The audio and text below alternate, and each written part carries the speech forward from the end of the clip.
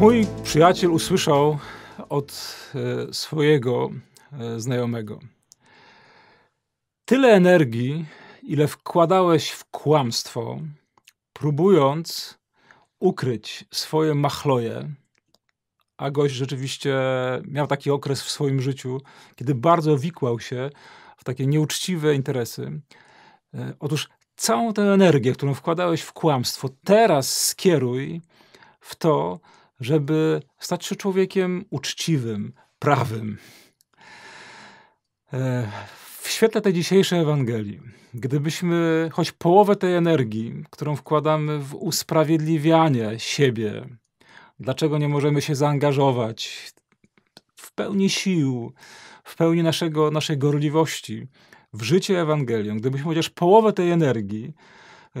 którą wyszukujemy tych różnych głupkowatych nieraz e, usprawiedliwień, że nie możemy, gdybyśmy skierowali na nasze zaangażowanie, bylibyśmy zupełnie w innym miejscu.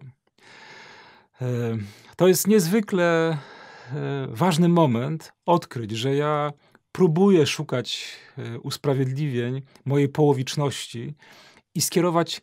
tyle, energii, tyle energii, ile potrafię,